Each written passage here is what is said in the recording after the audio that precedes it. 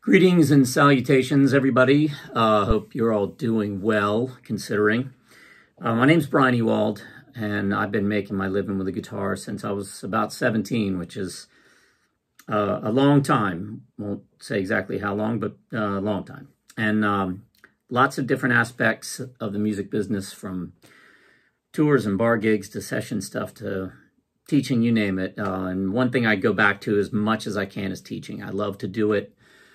And I'm going to give a free lesson um, uh, on what I kind of feel is the most single most important topic that has helped me do what I do. Uh, I can't tell you how many situations I've been in, jobs I could not have accepted without knowing uh, the fundamentals of what I'm about to show you uh, as a guitar player and as a musician. Uh, I've had hundreds, thousands of students in my life, uh, I'm sure, over the years. my students have come from a variety of backgrounds. Most of them are people who've been playing for a long time. Um, uh, typically, they're asking to learn to uh, improve their improvisational skills, uh, or just learn how to improv uh, if they haven't. Uh, work on their ear for figuring out songs. just add some variety and spice to their playing, lead or rhythm, uh, break out of ruts. Maybe they're bored of the way they play. I mean, that's all very common. We all go through that on some level, no matter how long you've been playing. Uh, but I really kind of found with 99% of my students that have come to me, it's the same missing puzzle piece that's really the root of most every issue that can help people break through those ruts. Um, all right, let's get into the lesson. So I'm going to use food as an analogy because I think it works really well with music and understanding it. Um, we all eat every day, um, so we can all relate to it in a different way. A lot of guitar players, to me, approach music uh, the way somebody would learn how to cook. You learn some recipes. Um, maybe your your mom or your dad or your you know grandparents you know taught you some skills and and you can be really good at it and make some delicious dishes. A true chef learns the fundamentals of how proteins break down in different heat sources, how fats and acids work together and, and how they react in making a dish. Um, there's layers to it to understand, and it takes a little bit of time to learn that. But once you have those fundamental skills, you could throw a good chef ingredients they've never seen before. Uh, I mean, there's TV shows about this, right? You know, you can put weird things in a basket that don't typically sound good together, and using their fundamental skills of understanding what kind of protein this is, or I can use this as a fat, I can use this, and tasting as they go, they can create something creative and hopefully delicious, right? If all you know how to do is recreate recipes, and somebody throws you in that situation, you're probably lost. It's a lot like musicians who you can learn lots of songs, uh, but you can easily get thrown into a position where you're like, I don't know what to do with this group of chords or whatever. We want to learn how to be great chefs on our instrument, complete musicians, uh, and use our ear and the fundamentals that we learn to be creative and create, and not just only be able to recreate the recipes that we've been taught or figured out. Okay, and we're going to talk about what our ingredients are as a musician, right? Okay, we have 12 ingredients, right? And people always, this is a, a cliche line music is all made from the same 12 notes, uh, which there are 12 notes, not seven notes, A through G. We have other ones, and it's not eight notes in an octave, right? 12 notes are our chromatic scale. There's seven natural notes and then the sharps and flats, the five sharps and flats in between, but they're just as important. So we'll talk about them in a second, but you know, we have our 12 ingredients and people say often like same 12 notes in opera, in jazz, in classical, in you know, blues, bluegrass. And yes, that's true, but there's another important layer to that to me that is a lot more helpful. If we have a single note, it's just a tone pick up the phone, it's a dial tone, or it used to be. That's a tone. It's not bluesy or jazzy or major or minor or happy. It's just a tone. It's not until you put two notes together that we create a sound that we think of as musical. Those to me are our ingredients. Two notes together. It's an interval. Okay. So we're going to talk today about numbers. So you may hear people using numbers all the time. Uh, a lot of people, I watch these comments in some of these guitar and instructional YouTube things where people start talking theory and a lot of people just glass over and go, "Oh, you lost me when you started doing that." And that's that's common. A lot of people don't quite understand when somebody starts talking about, "Oh, you move this up a minor third," or uh, "There's a, a G6 chord," or it's a two five one progression, a one four five progression. You know, the numbers are everywhere. The nice thing is they're very easy to learn. It's a way that you can learn something from a song you like, understand what you like about it, and bring it out in your own playing, or morph it and change it if you want to. If you understand how these 12 ingredients work, just like you can learn how to recognize an ingredient like salt. Once you taste it by itself and you understand how it works, that's just like one of your intervals. You know when something could use more of it or has too much of it. You can learn to hear these distances you don't have to have perfect pitch. It's partially just learning how to understand what they're called. Like I said, there's only 12 of them. Same, if we're talking about an interval, it's from one note to another. It's just the distance between two notes.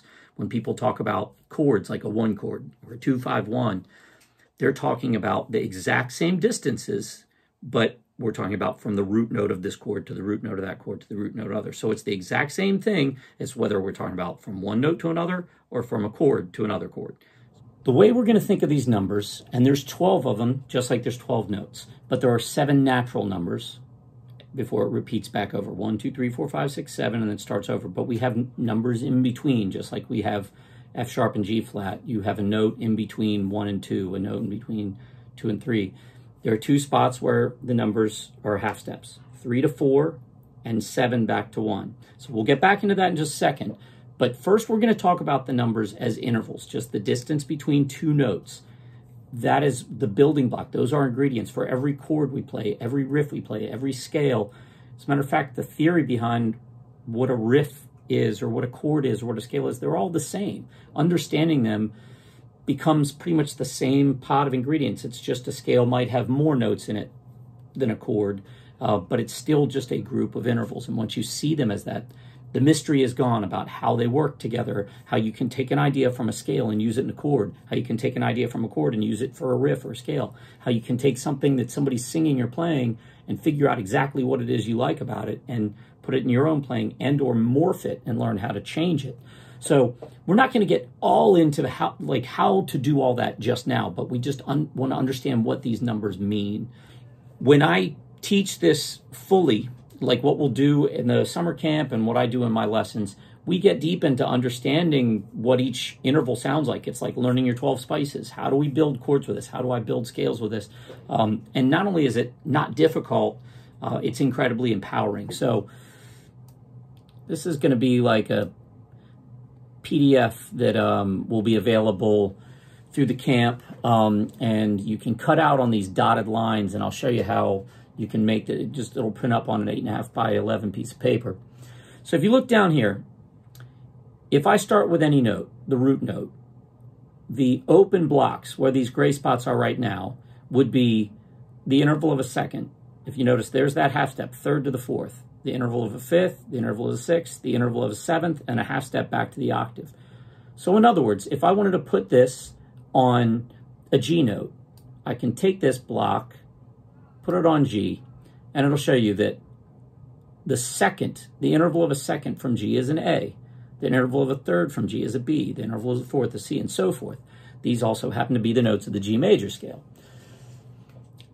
So this is not necessarily meant so you can carry this around with you always. Um, once you understand the pattern of it and how to find it, there's lots of ways to find out how to find intervals and the patterns and the geometry of the fretboard is super repetitive. When you see how it all boils down, you can look from one note, see how the basic intervals revolve around it and explains everything about chord shapes and riffs. Um, but so this is a good way to visualize the distances. So you can always see what interval anything creates. So here's what B would look like. So there we have B. Its second would be C sharp or D flat. Now, which should we call it? We should call it C sharp because we want everything to make sense with the alphabet. We don't want to go B to some sort of D to some sort of E or then to a natural E. We don't want to have repetition. We don't have want to have two types of E notes or two types of D notes or no D note whatsoever. So we want one of each of the alphabetic letters. B would go to C sharp, then D sharp, then E, then F sharp, G sharp, A sharp, back to B. That would give us the B major scale or the intervals of B. Okay. Now, that's just basically what the numbers mean. So if somebody is talking about playing, let's say, a D minor chord, and then they say it's a D minor six chord. Well, if I put this on D, if we notice, the sixth interval is a B note. I can take a D minor chord that I know, and if I can find a way to put a B note, like let's say lifting off this finger and playing the open B string, what I just did was I added a B note to a D minor chord. That B is a sixth interval to D, so I just played a D minor six. So that's how that would work in the case of a chord. Or if somebody sang a B note over any type of D, a major or minor, they're singing the interval of a sixth. Each of these intervals has a very distinct sound. You can learn to hear them. Once you get into understanding these 12 ingredients, they make up everything. Let's look at how the numbers, just in the basic concept of how the numbers work with chords. Okay. There's a lot of information on this sheet, and I'm not necessarily going to talk about all of it in this little thing, but um, if you notice on the bottom here, I have Roman numerals. Those are representing the chords of a major key. And the little green blocks are for major chords, and the little yellow blocks are minor chords. And this last one is a diminished, specifically a half diminished or minor seven flat five. We're not going to worry about that right now. What we're going to basically see is that every key, every major key, has three major chords and three minor chords. Every minor key has the same thing. Major keys and minor keys are identical to one another. Every major key has a minor key that's, you could think of it as its sister key, its relative minor key, or vice versa. Like for the example, I'm going to put this on, let's say we'll go back to G. In the key of G, where we have one as the major, here's E. The key of E minor and the key of G major are exactly the same in their notes. The difference is just semantics. Playing in the key of E minor would be these notes. Playing in the key of G major, it really just depends on which chord you're focusing on. But for our purposes, to get our answers on this stuff, we'll just talk about it as a major key. This is what the modes are. The modes are talking about a major scale and considering each one of these positions our root note or our one and changing our perspective and learning a, a new set of rules based on calling a different note our root note. There are a bunch of names for the same thing. One scale with seven names. So the major scale happens to be one, the natural minor happens to be one. We don't need to worry about understanding those to get the sounds out of them.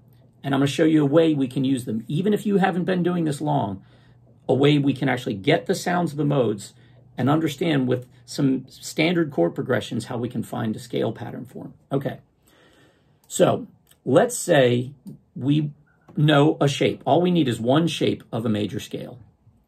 I'll show you one to start with. Here it is as a C major scale. Some people might look at it and go, wait, that's a natural minor scale. I know that one. Or the Aeolian mode. Yes, it is. You can use it for all kinds of things. But where I've put the little R's, the little root notes, if you play it to that note, or if it doesn't mean you have to start on that note, but if you place it on the neck, wherever that R note lands, you're playing it as a major scale to that note. If I wanted to play this as a D major scale, I would just move it up a whole step or put any one of these R notes on a D note, and it would give me a D major scale. If you can understand that and how to play that and move that scale around, you can play any major scale, all 12 major scales with that one shape, okay? So let's say we use that shape, and now we want to look at a chord progression and know what scale we can use with it. We can also use this as a just a jamming and a songwriting tool. Let's start there. Let's say the C major scale that I just put up on the neck, or the, the, that whatever on the screen. Yeah, you know what I mean. Let's say I want to make up a chord progression and use that scale I put up. I want to know what chords are in the key of C. Well, I drag this little thing over a C. And it's going to give me the three major and three minor chords that work with that scale. A C major chord is the one chord. D minor is the two chord, E minor is the three chord, F major is the four chord, G major is the five chord, and then here we have the six chord or minor. So C major, D minor, E minor, F major, G major, A minor. Those six chords, all of them, three of them, four of them, whether I'm playing a C chord or not, will work great with this scale. I can play that scale to those chords. I can play just D minor and E minor back and forth. So make up chord progressions. Make up 12 chord progressions from those. Make some of them long progressions where you're using most of them. Make some of them just two chords. Uh, play play one where you're just hanging on the F chord the whole time, but play the C major scale over it. But what you want to do when you do that is don't think of it like I'm playing D minor to E minor. Think I'm playing the two chord to the three chord. Turn these, start trying to think of these generically as the numbers. Not only will it make sense when other people are talking about it, but you'll start understanding the role of what the two chord sounds like in a song and what a four chord sounds like in a song. There are three major chords in every key, but each has its own sound and a role within a key. So a one chord is that it's going to end here. Like if the song were to end on the cheesiest, most obvious major chord, that's the one chord. And the five chord tends to want to push your ear to the one chord. We can use that just to make tracks to jam to. Pick any key you want. If you want to switch this to an E major scale, move this pattern up so these two R's land on the 12th fret on those E's, you'll have an E major scale. And then go back to our little thing here, move this to any E note, and you'll have the three major chords and three minor chords that work to that. Make up some songs. This this is the way I visualize it. I picture it like this little block, like a domino, six on a domino, those, you know. So instead of looking at it, this little diagram I showed you looks at how this breaks down linearly on one string. And it's cool because there you see the whole steps and half steps. You see the one chord to two chords a whole step. Two to three is a whole step. Then we have three and four, that little half step. Four to five are a whole step. Five to six is a whole step. Six to seven, even though we're not dealing with seven as a chord, it's diminished chord right now, would be a whole step. And then the, the seventh note back to the to the octave or the root again is, is a half step. But basically, this is the block that we want to concern ourselves with.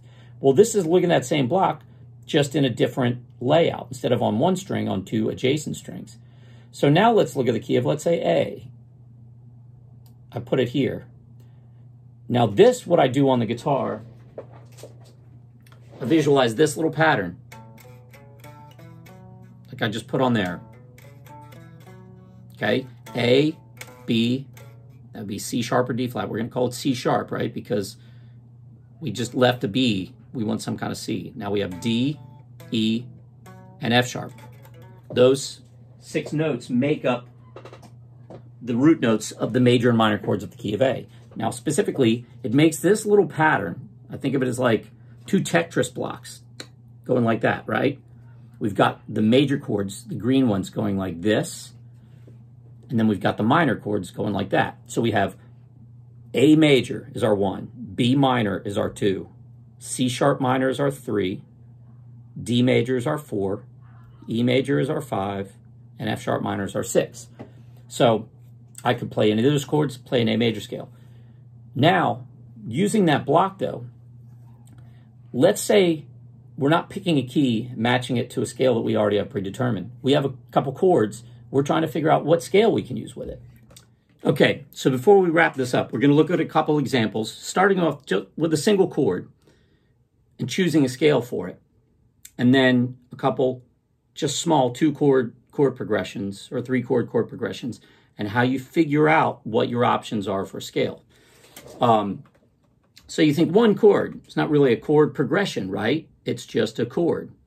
But let's say you're sitting around with a friend and you're just jamming for a little bit and somebody's just doing this little kind of riff that's around, let's say, an E chord, okay?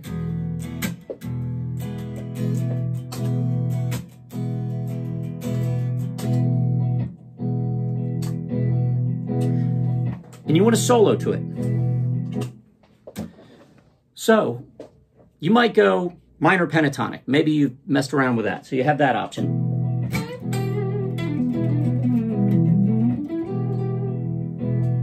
Not great to me for a, a very major application. It's cool for something bluesy. Over that, it was a little eh. So maybe you know the major pentatonic, which would be three frets lower.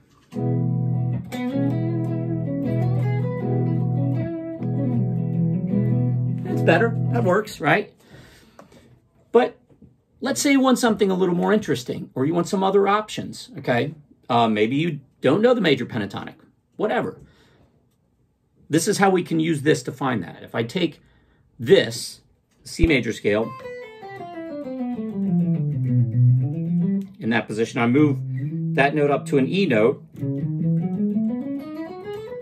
and play that same shape, I have an E major scale. Well, obviously an E major chord and an E major scale makes sense, right? So let's try it.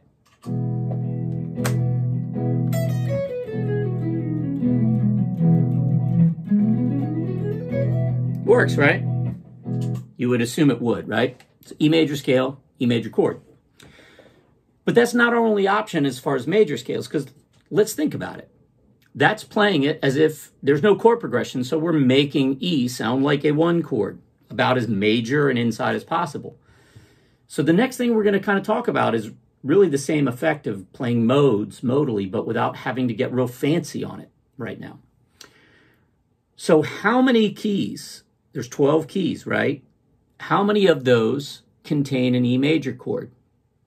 Three, right? There's three major chords. So E can land once where it's the one, once where it's the four, once where it's the five. If this was the same thing but on a minor chord, it could land in three keys also. Once where it's the two, once where it's the three, and once where it's the six. So let's go through. We just heard this. We just heard E as if it's the one chord. We played an E major scale over an E chord. But now what if I move down and put E in the place of the four chord? E is the four in the key of B. So the key of B would have B major, C sharp minor, D sharp minor, E major, there's our chord, F sharp major, and G sharp major. Or G sharp minor would be the six. But we're just hanging on a chord, but this is what it would sound like to hear it as if E was our four chord, okay? Not the four chord of E, but what E is the four of, in this case, B. So I'm going to take that same shape and now just put those R notes on a B note. So I'm going to play a B major scale over this E.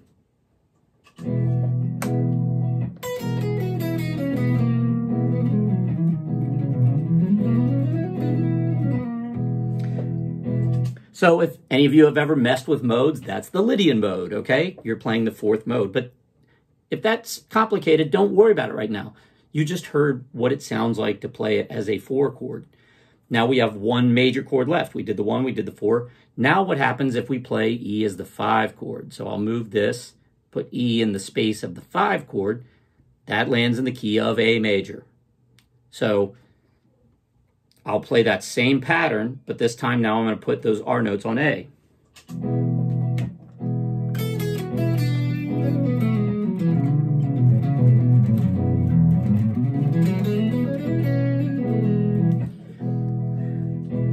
Right there, what you were hearing was playing E as a five chord. That's what a five chord sounds like. It's bluesier. It's the Mixolydian mode. But again, you just heard an E chord being played over an A major scale, which is the five chord. That's what you want to remember. Just think of it as that's what a five chord sounds like.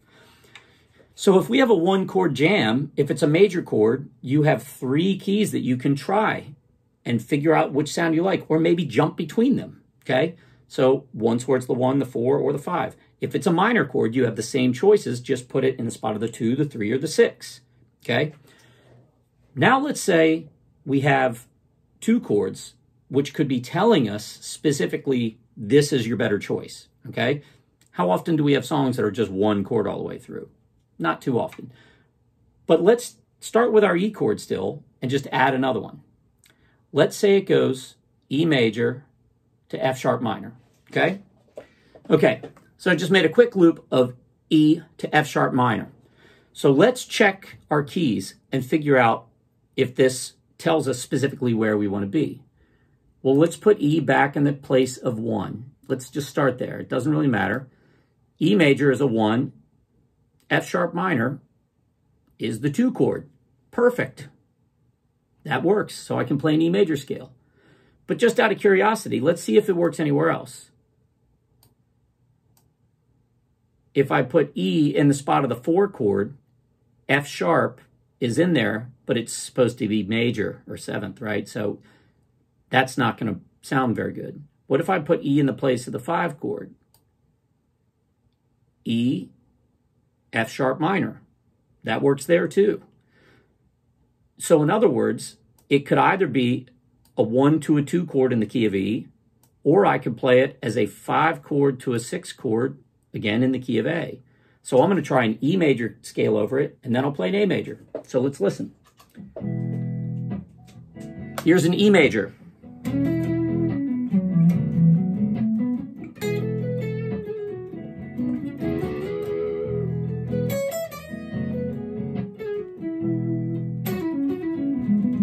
Very Allman Brothersy, right? Major inside sounds great.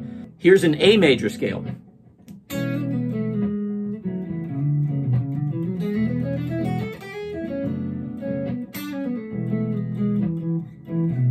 Little bit bluesier, a little darker, okay? That's hearing it as a five chord to a six chord.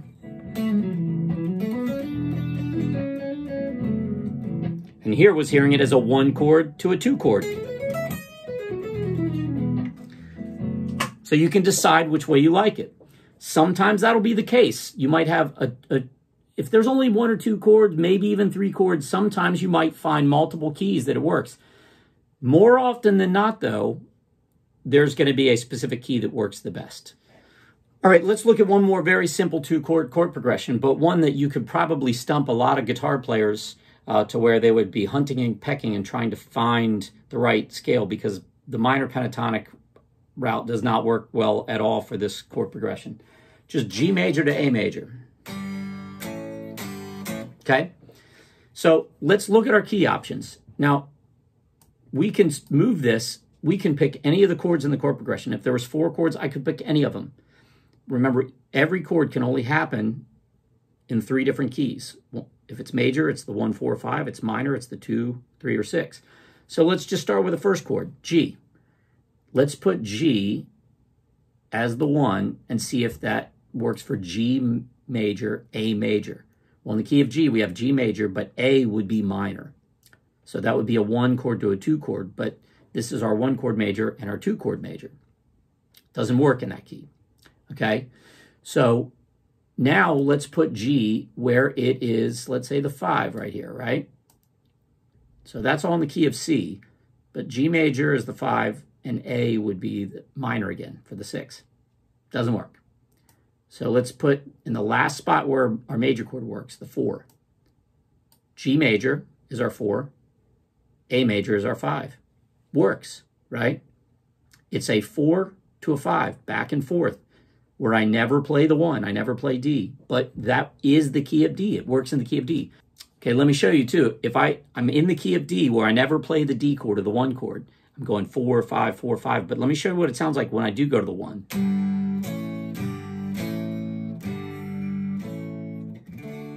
Right? The D chord has that sound of like the cheesiest, most obvious end. So it does, you can hear that those two chords work in that key of D. You can hear four mm. chord, five chord, four chord, five chord, one, right? But here's a little loop of just playing the four and five. G to A, right? where a G major scale doesn't work and an A major scale doesn't work. My only two chords in the song, and I'm not in either of those keys. But here's a D major scale.